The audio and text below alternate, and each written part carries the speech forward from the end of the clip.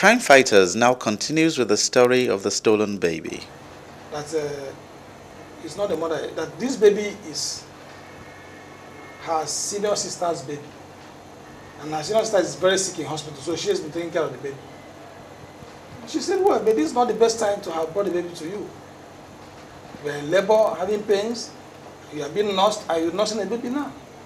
Well, that went on like that. The primary aim then was to nurse her and make sure she has a normal delivery. Well, according to the, the nurse of duty, the process continued, of monitoring continued until when she was about to close. So she went to the woman and said, Madam, I'm about to go. That's, uh, sooner or later, somebody will come and take over. That was when she called her again and said, please, this baby I'm having, I want to adopt it. Ah, I want to adopt it. Say, you want to adopt what? Adoption. Is your husband aware of it? She said no. So the nurse became uncomfortable. However, when she was, when the morning nurse arrived and came to take over, she handed over both the woman in labor, Mrs. Chidebere, the baby that was brought into the hospital, and of course, let her know too that this case is somehow, look at what I've seen and experienced. That please make sure that immediately the management comes in, you let them know what's on the ground. I came to work that morning. The, the nurse who was monitoring her then came to me and told me that we have a labor case, she's doing well, but something uh, is happening, that there's a baby with her, and from the stories that she has said, we cannot, we feel something fishy is happening. I said, is that so? She said, yes. I said, okay. I said, no problem. Just my, uh, let her be properly monitored. I will, uh, we'll, keep proper surveillance, but let us get the primary goal of letting her have a stressless delivery, bouncing baby, and a strong mother. Eventually, around um, 11 a.m. of 8th of February, the same day, human delivered. They were properly taken care of, taking, taking the, cleaned up and sent to the lining ward where the mother and the newborn baby were recuperating, inclusive of the of the snuggled baby, uh, so to say.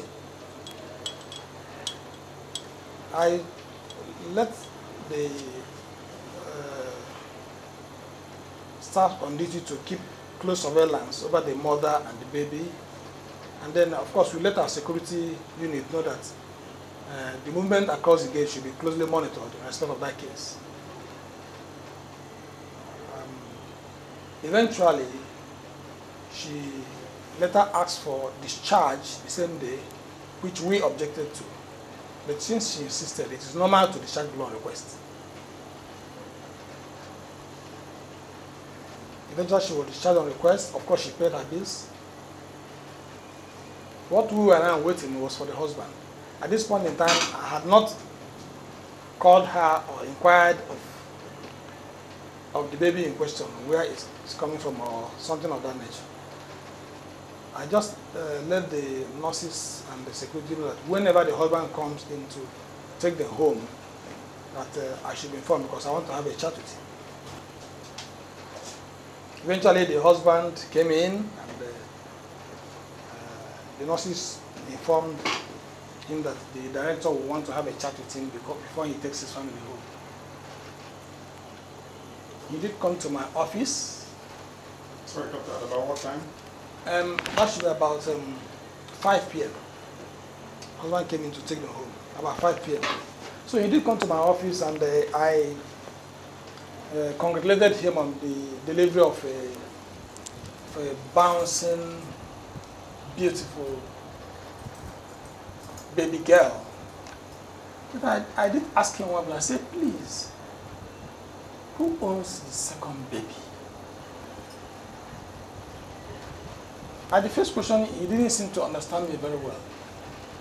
So he was talking of thank you for a good job done, we are about going home and whatever. I say, yes, please, I, I, I still have one question I'm asking. So what did I say? Your wife is going home this evening. He said, yes. Said, he has come to take me home. I said, fine. I say, you saw your baby? He said, fine. I say, I want to know who owns the second baby.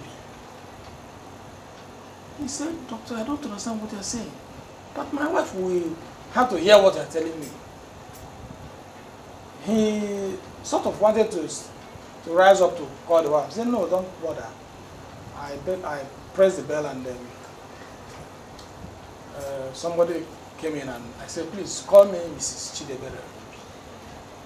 The woman came into my office and sat down with the husband and three of us were, ca- we went into a, a frank discussion.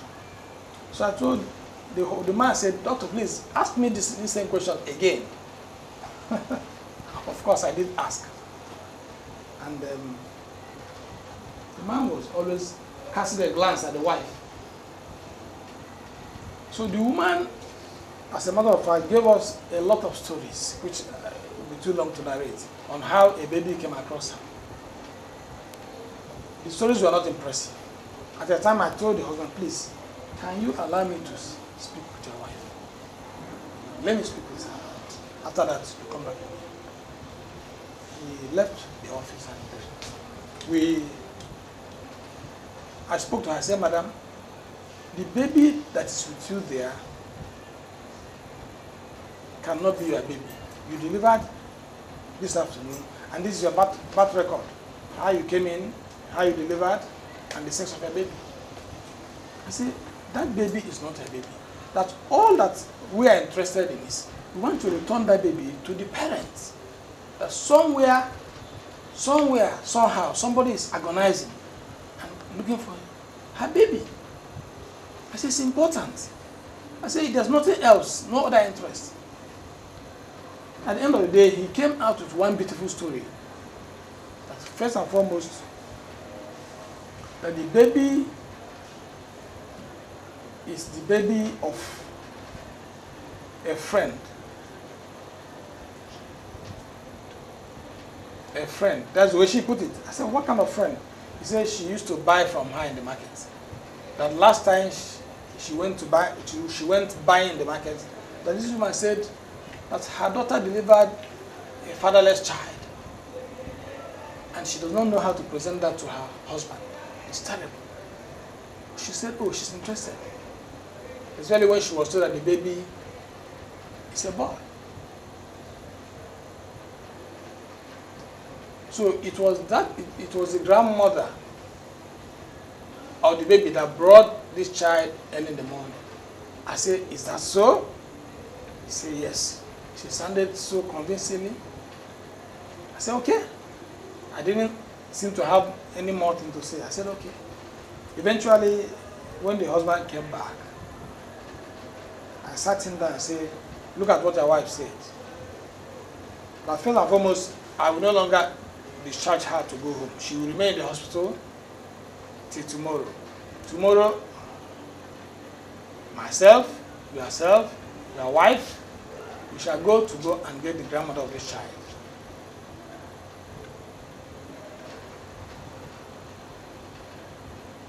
The man agreed. The lady agreed. So, no stress.